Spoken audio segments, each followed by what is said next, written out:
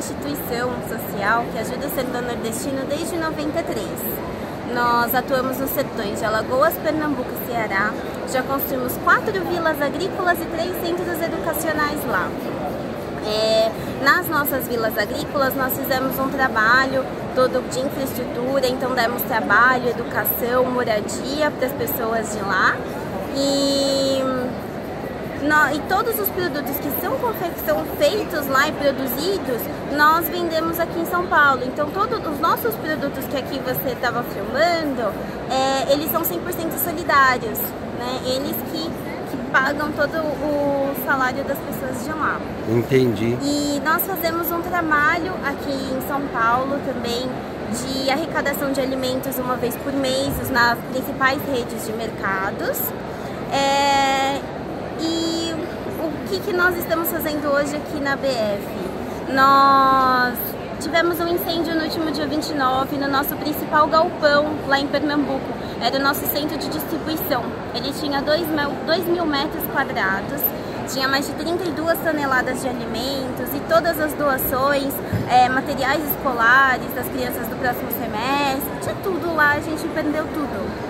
Perdemos até nosso estoque de castanha, que é o nosso carro-chefe nos produtos solidários. É, eu tô vendo né? aqui, tem Isso, aqui é, artesanato, né? Aqui é o babaçu, a palha, tem as nossas castanhas, o doce de leite, o mel, que é feito com a flor do cajueiro, a cocada, entre diversos outros E aí, depois do incêndio, o que, que agora vocês estão aqui? A gente está pedindo doações. A gente precisa de recursos financeiros para reconstruir os nossos galpões.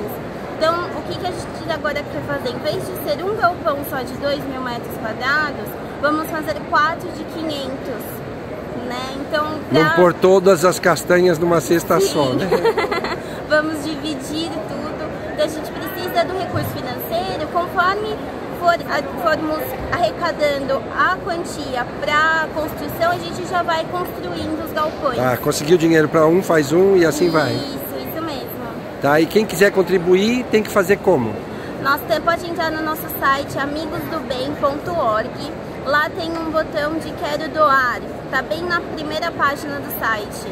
E aí ele faz a doação que, que puder. Tem até umas recompensas de acordo com o valor que for, da, for doado. Tem recompensas da gente agradece, né? Quantas pessoas são beneficiadas, beneficiadas por esse projeto? Mais de 60 mil pessoas. 60 mil é uma 60 cidade, mil. muito Nas bem. Nas nossas escolas são mais de 10 mil crianças que ficam diariamente conosco o dia inteiro. E isso tem alguma coisa a ver com o governo? Não. É uma iniciativa? É totalmente não governamental.